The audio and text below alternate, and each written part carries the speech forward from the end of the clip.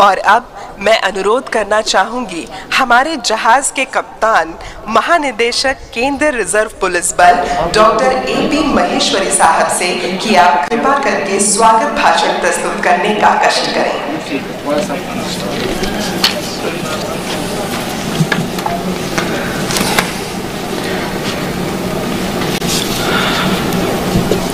आज के इस समारोह के मुख्य अतिथि माननीय गृह राज्य मंत्री श्री नित्यानंद राय जी, यहाँ उपस्थित बल के वरिष्ठ अधिकारीगण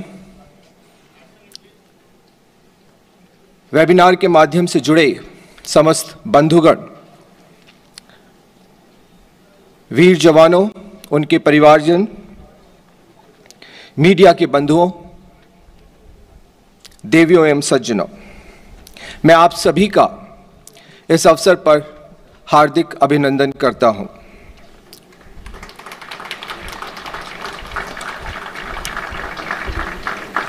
आप सभी के निमित्त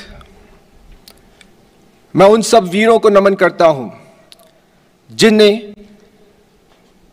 अपने प्राणों की सर्वोच्च आहुति दी और इस बल का नाम रोशन किया।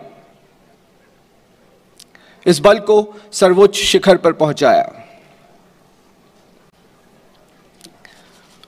मैं माननीय गृह मंत्री श्री अमित शाह जी को भी इस मंच से साधुवाद देना चाहूँगा। उन्होंने बल के 28वें वर्षगांठ के अवसर पर अपनी शुभकामनाएँ, संदेश भेजा है। भारत जैसे महान राष्ट्र में जहाँ की विविधताओं के मध्य अनेकों संस्कृतियाँ पल्लवित हैं। वहाँ पर जहाँ एक और सभी को मूल अधिकार दिए गए हैं अपनी बात रखने का। और यदि किसी बात से असहमत हो, सहमत हो तो असहमति का भी अधिकार दिया गया है। लेकिन सभी कुछ एक संवैधानिक दायरे के अंतर्गत व्यवस्था प्रदान की गई है। फिर भी लोक व्यवस्था के पहलू पर कभी कभी अराजक तत्व, हिंसात्मक तत्व। परिवेश को जब खराब करते हैं तो आवश्यकता पड़ती है एक ऐसे बल की, जो कि कानून व्यवस्था की स्थिति को बिगड़ने से रोक सके और एक अच्छा परिवेश कायम कर सके। इसी को ध्यान में रखते हुए वर्ष उन्नीस सौ बानवे में शीर्ष स्तर पर यह निर्णय लिया गया। कि एक ऐसा बल बनाया जाए जो कि कानून व्यवस्था को नियंत्रित करने में दक्ष हो, जो कि एक पीपल फ्रेंडली फोर्स हो, जो कि एक न्यूट्रल फोर्स हो, जो कि आधुनिकतम गैर घातक हथियारों से सुसज्जित हो। मान्यवर, इसी को ध्यान में रखते हुए उन्नीस सौ बानवे में आरएफ की स्थापना की गई। और तब से आरएफ ने कभी पीछे मुड़कर नहीं देखा। संघीय ढांचे के अंतर्गत यही एक मात्र बल है जो कि सर्वत्र स्वीकार्य है। हर एक राज्य में इसकी लोकप्रियता है। और इसका कारण है कि इस बल ने समुदाय में अपनी पैठ बनाई है। सबको साथ लेकर चलता है। और मानवीय संवेदनाओं के चलते इसने अपनी सेवाएँ बखूबी बहुत ही निपुणता के साथ अर्पित की हैं। देश में ही नहीं, देश के बाहर भी। यूनाइटेड नेशंस के मिशन के अंतर्गत हैती, कोसोवो, लाइबेरिया में वहाँ भी राष्ट्र का पंचम लहराया है।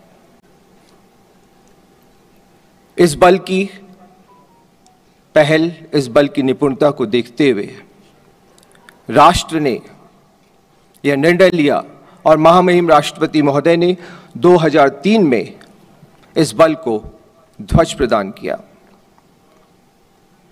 इस बल ने अपने कार्य को निरंतर, अच्छे से अच्छा अंजाम दिया है, प्रगति की राह पर अग्रसर हुआ है। और इसी के चलते वर्ष 2018 में इस बल को 10 वाहनियों से बढ़ाकर 15 वाहनियों में परिवर्तित किया गया। मान्यवर, मैं बताना चाहूँगा कि हिंसा को गैर घातक माध्यमों के द्वारा नियंत्रित करने में इस बल ने अपनी एक खूबी बनाई है। कल शाम को हम लोगों ने एक वेबिनार इस वर्षगांठ के अवसर पर रखा था, जिसमें कई विचारकों ने, बुद्धिजीवियों ने भाग लिया। और उसमें खुलकर सामने आया कि जो पहले की स्थिति थी और आज की स्थिति है, उसमें बहुत अंतर है। पहले फ़िज़िकल स्पेस में लोग अराजकता फैलाने का प्रयास करते थे, किंतु अब साइबर प्लेटफॉर्म्स पे सोशल मीडिया के माध्यम से, एक तरह का रेडिकलाइजेशन फैलाया जाता है। कई विचारधाराएँ उसमें पनपती हैं जिससे कि असंतोष पैदा होता है विशेषकर कि नवयुवकों में और ऐसे लोगों में जो कि इस बात का इंतज़ार करते हैं कि किसी तरह स्थिति को भड़काया जाए। सो फ़िज़िकल स्पेस से जो साइबर स्पेस में ये जो ये आ, हमारी जीवन शैली परिवर्तित हुई है उसके अनुरूप जो परिवर्तन आए हैं मान्यवर मैं बताना चाहूँगा कि इस बल ने उस दिशा में भी आगे बढ़कर अपने आप को प्रखर किया है, निपुणता हासिल की है। हम इस बात को मानते हैं कि नागरिकों के कई मूल अधिकार हैं, जिसमें असहमति व्यक्त करना एक मूल अधिकार है।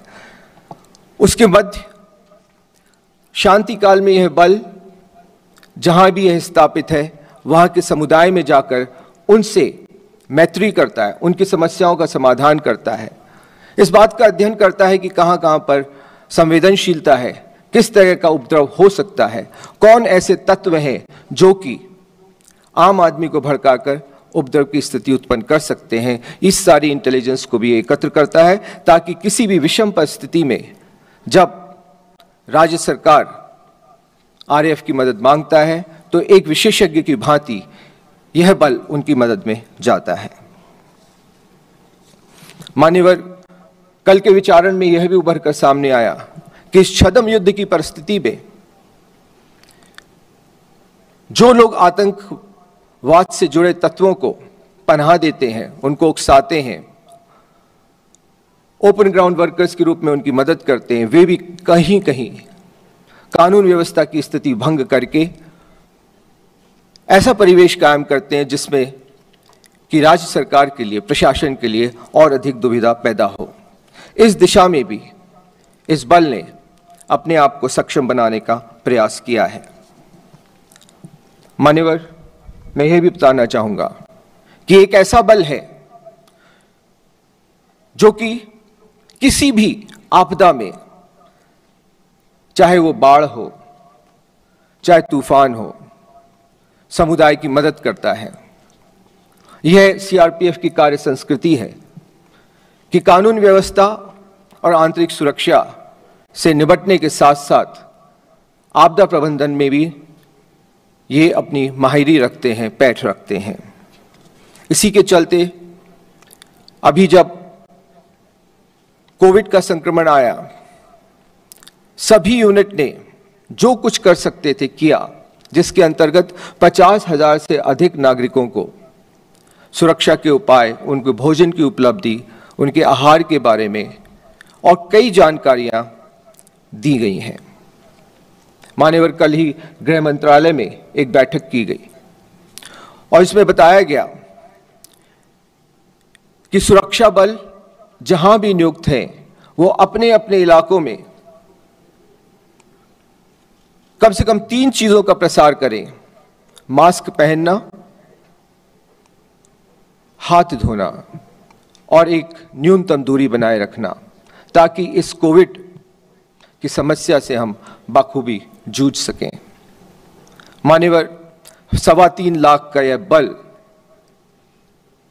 हमने कल ही यह प्रण किया है कि हम अगले सौ दिन में हमारे 1200 परिचालनिक बेस और 400 प्रशासनिक बेस 1600 स्थानों पर समुदाय के साथ मिलकर इस जागरूकता को और बढ़ाएँगे। लगभग 12 करोड़ देशवासियों से संपर्क करने का हमारा लक्ष्य है। इसी प्रकार, हमारे गृह मंत्री जी ने जब यह बताया कि माननीय संवेदनाओं का वर्ष है और उसके तहत सभी बलों को अपना योगदान देना चाहिए सीआरपीएफ ने 30 लाख से अधिक वृक्ष लगाए, जिसमें 3 लाख वृक्ष आरएफ के द्वारा लगाए गए।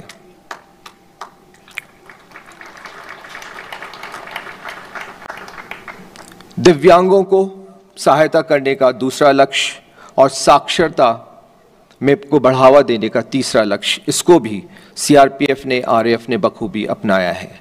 मान्यवर, मैं यह भी कहना चाहूँगा कि कि लोक व्यवस्था की स्थिति से निपटते समय जैसे जैसे अनुभव होते गए, उन अनुभव के आधार पर और अपनी कार्यशैली और संस्कृति के आधार पर,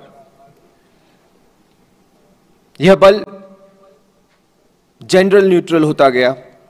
यहाँ तक कि आरएएफ में भी महिला कार्मिकों द्वारा बढ़ चढ़ कर कार्य किया जा रहा है।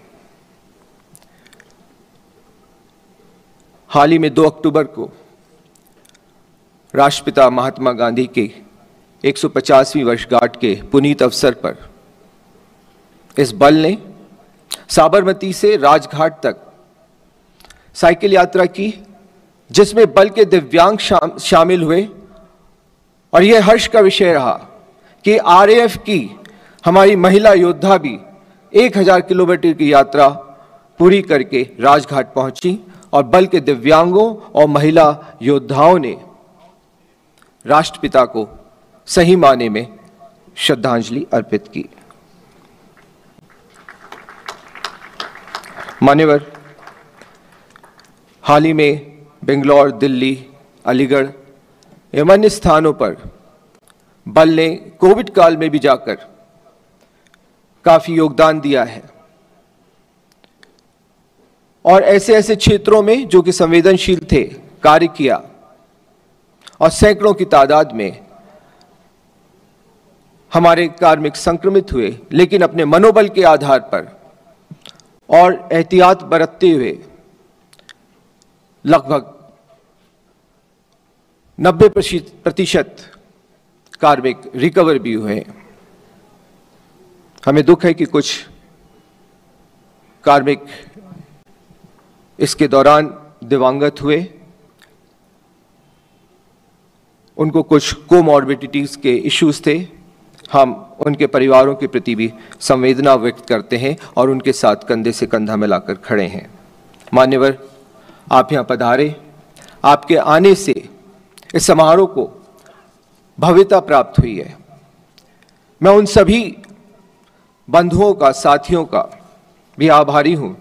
जो कि वेबिनार के माध्यम से हमसे जुड़े हैं और उनकी इस अपरोक्ष उपस्थिति से भी यहाँ का परिवेश पुष्पित एवं पल्लवित है। मैं आभार व्यक्त करता हूँ मीडिया बंधुओं का, जो इस मंच से उभरे सब विचारों को आम नागरिकों तक ले जाएँगे। और जो परिस्थितियाँ वर्तमान में हैं, मैं अंत में महोदय की अनुमति से यही निवेदन करना चाहूँगा कि प्रत्येक सैनिक वर्दी में एक नागरिक है और प्रत्येक नागरिक बिना वर्दी के एक सैनिक है। अगर हम ये भाव ले आते हैं और हम परस्पर दूरी मिटा देते हैं और जिस संविष्टता के साथ, सामंजस्य के साथ ये वाक्य प्रेरणा देता है, अगर हम उससे सीख लेकर आगे बढ़ते हैं तो इस राष्ट्र की सुरक्षा में कोई सेंध नहीं लगा सकता, इसका कोई बाल बाका नहीं कर सकता। हम राष्ट्र को आज पुनः अपनी कटिबद्धता दोहराते हैं। सेवा और निष्ठा के प्रति हम अपने संकल्प को पुनः व्यक्त करते हैं। जय हिंद, जय भारत। धन्यवाद महोदय।